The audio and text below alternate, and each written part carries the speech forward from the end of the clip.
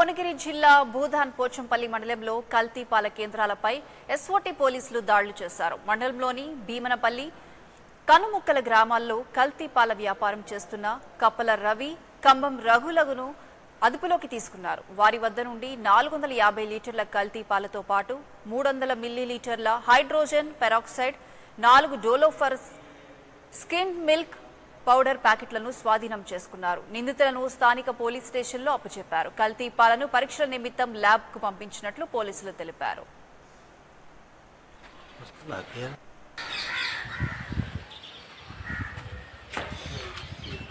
ఆయనది